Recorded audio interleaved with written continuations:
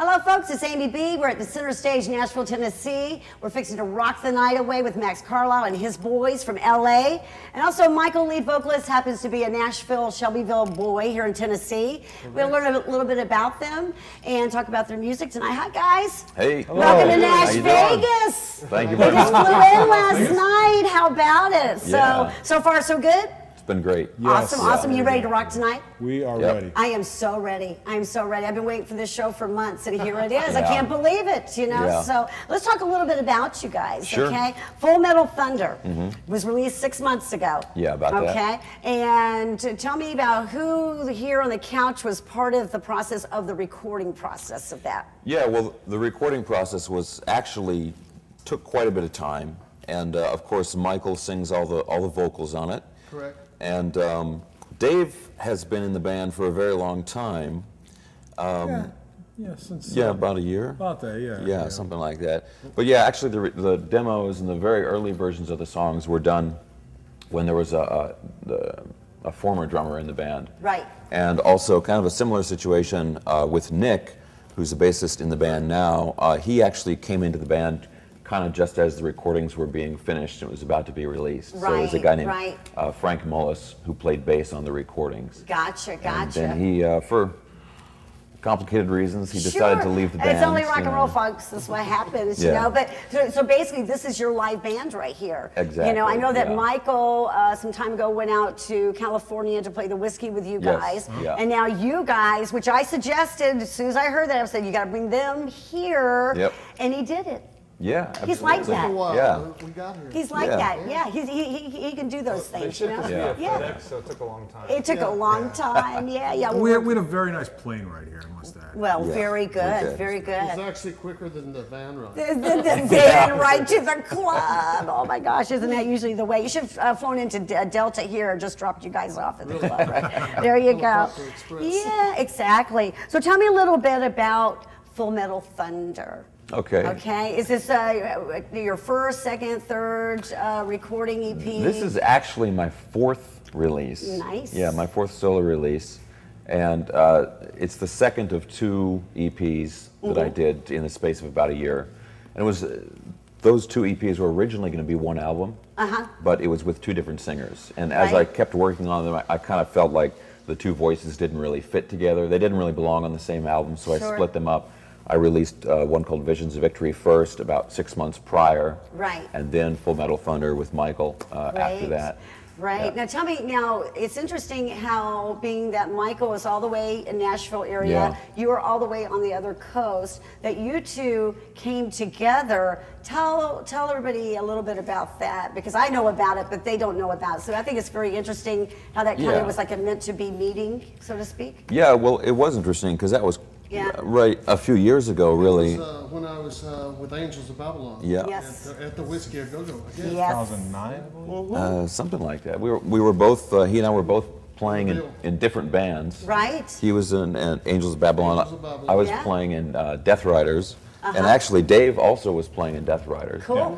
Cool. So you so you heard Michael sing and Yeah, you guys we heard him met sing and and we- We shared then the same dressing room also. Yeah, we were just that's talk, huge. talking backstage Yeah, and that kind of yeah, stuff. Yeah, yeah, I, lo- I love those kind of stories because you know people think you know uh, that bands they have to live like in the same town to make Oh, a yeah. connection and all that kind of thing, or you know how would that work? But you know you sent the music to Michael here Yeah. in Nashville. He recorded the vocals and then you know sent the stuff back and Mm-hmm. and and I've heard the music and it's it, it rocks. So you know and, you. and for you guys to do it that way, you Mm-hmm. know, i- is, uh, is is a very cool way to do it. So you can do it so many different ways. You know, you- uh, everybody in the studio at the same time is old school. You know, Yeah. lay down that one track and overdub, and Yeah. then now today with all this technology that we've got going on, then you guys can do it like this. So it, it's like it has progressed the technology of everything. Because back in the day, we probably never re- really thought of doing something like that. Yeah, you know? that's true. Or certainly would have been more Well, it complicated. was, uh, at it was. Yes. all by Yeah. chance. Cost prohibitive. Yeah. It was yeah. by chance anyway. I mean, because Max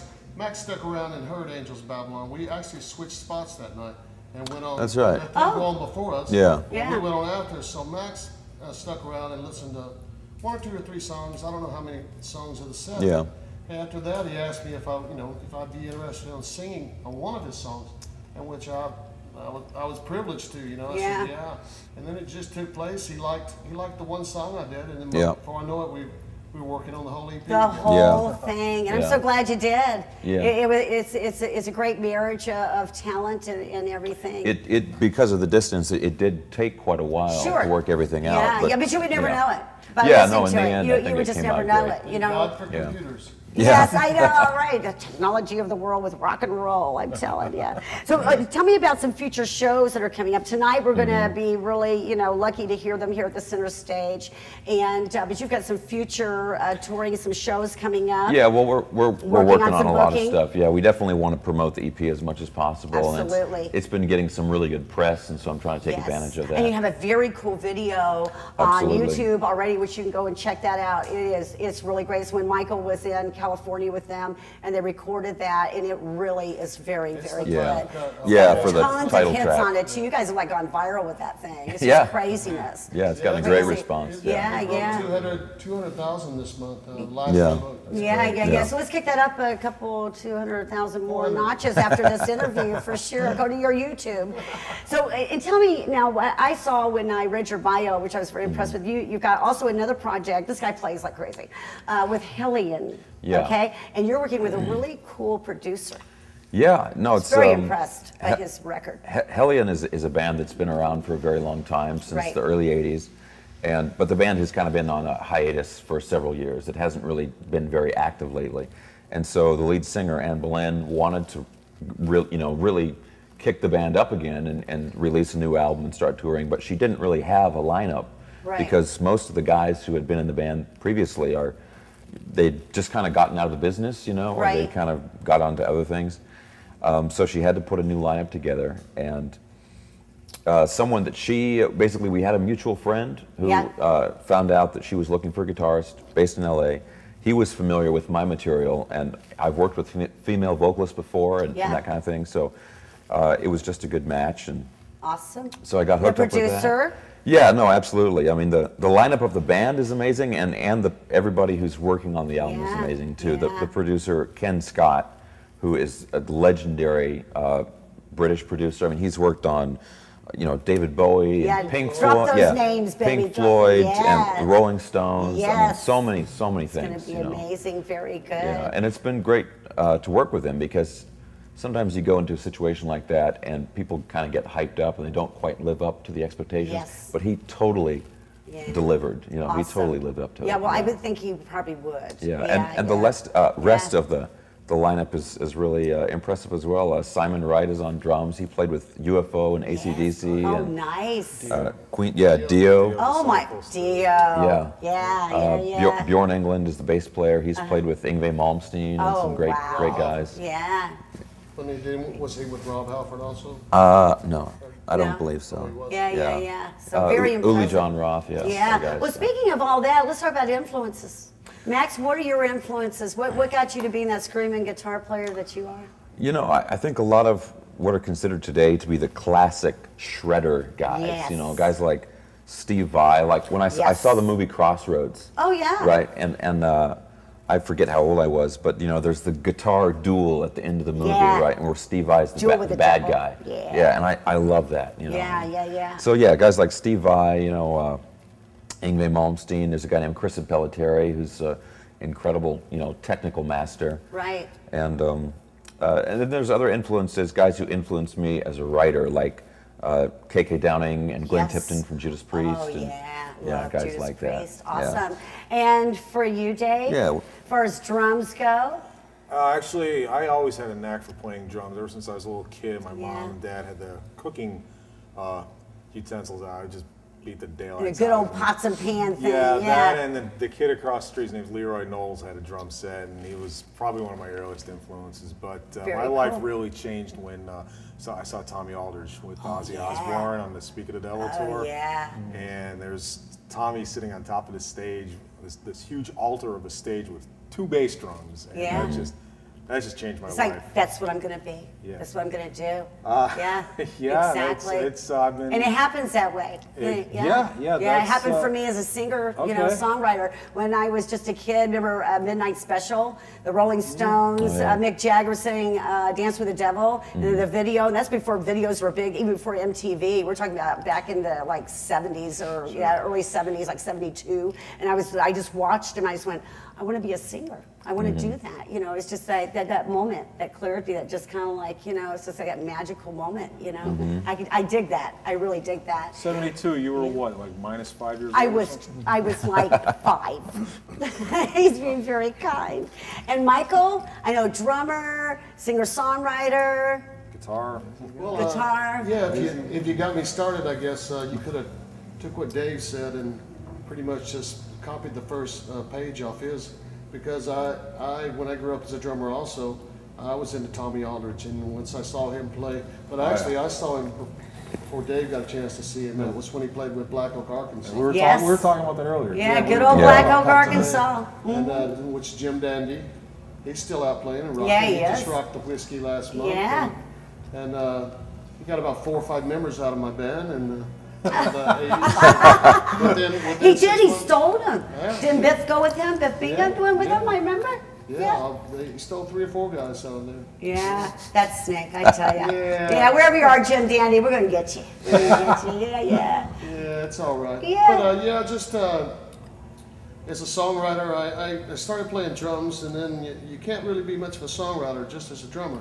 So you know, I so I started picking up classical guitar and piano a little bit, uh, just to start doing some songwriting, and which which that got me on the roll of, of where I could you know have the rhythm section and and do all the writing also at the same time. So that's that's what helped me get started, you know, into the area Yeah. of being a singer songwriter. Awesome. And, uh, and I, which I played drums also doing that. Yeah, yeah, yeah. But uh, then they said, uh, come to play with this band in Nashville in 1985 or 86. And uh, I said, well, where, when do I bring my drums and where do I bring them to? They said, we don't want you to bring your drums. Bring your voice. And I said, why? I said, I got to have my drums. And they said, we just want you to be lead singer. I thought Yeah. about it. I had a real big kit back then. And, and uh, one thing that made me go was I, I wouldn't have to set up my drum kit. So oh, I nice. would walk in and put Yeah. my microphone, set my Easy stand down, peasy, put it in there. babe. I'm here. That's right. But that's the We best don't even part. need roadies, But that's the best yeah. part is setting up the drums. Oh, the only thing yeah, there better is go. tearing them down. Yeah, exactly. There you go. There you go. And you do both of them well, all of those well. And last but not least, the bass player, Nick. Tell me about yourself. How much time do you have? Just keep going. Okay, everybody take a quick break. It's going to be a long one. Um, but no, just quickly, uh, yeah, everyone here has mentioned some fantastic bands. Uh, my influences I cover the entire spectrum of music from Sting to Megadeth and everything Nice, in between. So, nice, because I think it's good to be well-rounded. So I listen to a little bit of everything, but. Um, you know, to just start picking decades from the 80s. I loved the big hair stuff, so Skid Sure. Row, Dokken Dio. I know, I know. stuff. I miss those Amazingly great- days. I amazingly do. great Whitesnake, you know, Yeah, amazingly great Whitesnake, music. yeah. Um, from the 90s, um, honestly, I didn't listen to a lot from that decade. but, uh, uh, I mean, there were some great artists, but I just I didn't listen to a lot of them from there. Uh, today, I listen to a lot more modern things. Um, I listen to a lot of symphonic stuff, so like Kamelot and Nightwish. Um, Yeah. I listen to some of the younger stuff like Avenged Sevenfold, Black Veil Sure. Brides. Um, I, I go back even earlier to Pink Floyd. So again, I'm, I'm just I am all over the map. Nice, very good. Uh, Well, Dave's gonna skip me a line. He's yeah. not a Pink Floyd fan, but that's Right. okay. That's why I said There you So, go. I have nothing against them. Just, just not one The of things Uh, are- don't All start- right, you guys fight later after the show. We need you to Yeah. play tonight. The bad part about being a bass player is I'm in front of him, so you can throw sticks. There at me you go. There you go. You might get hit Well, upside the head never go tonight. backstage But past That doesn't happen that often. yeah, You know, yeah. not usually. Folks, we are so excited to watch these guys tonight. I want you to stick around because they'll be coming up after the interview, and we'll be able to find the music. We're going to roll that in the credits, CD Baby, iTunes, YouTube, and on and on and on. So you can go and pick up their great music and support these guys. So stick around because they're coming up next. Rock on.